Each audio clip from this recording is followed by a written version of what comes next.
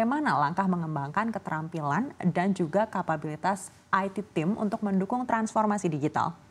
Ya, pertanyaan yang baik. Um, karyawan atau staff adalah aset terbesar bagi bank kita dan uh, kita memberikan fokus yang uh, paling atas juga untuk um, terus meningkatkan atau develop our staff.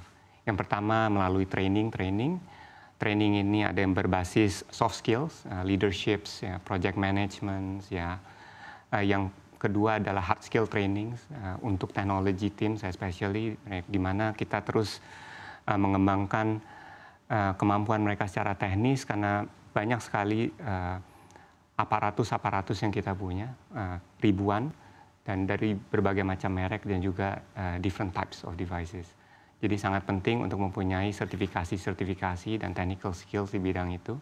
Bicara mengenai sertifikasi, kita juga memberikan uh, tunjangan untuk karyawan yang mau melakukan sertifikasi, profesional sertifikasi untuk daerah yang berhubungan dengan daerah pekerjaannya.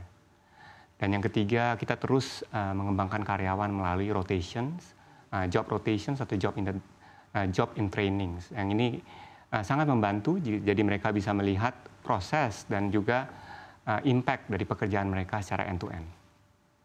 Baik, berikutnya menurut Anda tren apa saja yang akan mendominasi pembayaran digital dalam 5 hingga 10 tahun ke depan? Dan bagaimana Anda mempersiapkan diri untuk menghadapi perubahan dan tren masa depan dalam pembayaran digital? Ada beberapa tren yang kita lihat. Yang pertama adalah uh, artificial intelligence ya AI bisa membantu meningkatkan security di pembayaran digital dengan meningkatkan kecepatan dan juga efektivitas dalam bereaksi atau mendeteksi.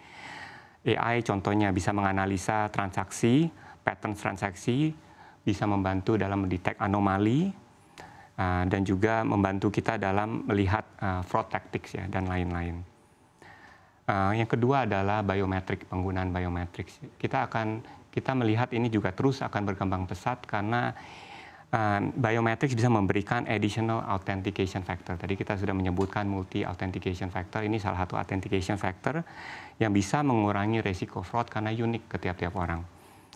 Yang ketiga adalah further adoption of the contactless payment.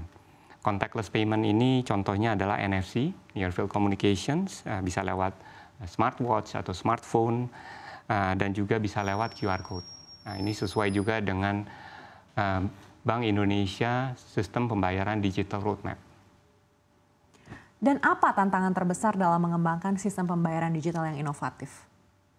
Ya, kembali lagi uh, bicara tentang tantangan artificial intelligence uh, selain bisa memperkuat uh, IT security, di sisi lain cyber attacks juga bisa menggunakan AI. Jadi mereka bisa lebih sophisticated dan juga bisa lebih cepat. Hackers bisa menggunakan AI dan selain itu mereka juga bisa menggunakan uh, different type of attacks seperti cyber attack as a service. Nah, ini bisa digunakan untuk serangan-serangan seperti DDoS, social engineering, dan lain-lainnya. Selain mengganggu digital transactions, juga bisa mengakibatkan data leakage atau pencurian data. Tantangan kedua yang saya lihat adalah kolaborasi antara institusi keuangan dan regulator. Ini sebetulnya lebih uh, kebutuhan untuk mempererat ya, bukan challenges. Jadi kita butuh lebih erat untuk kolaborasi untuk digital payment karena ini mencakup ekosistem.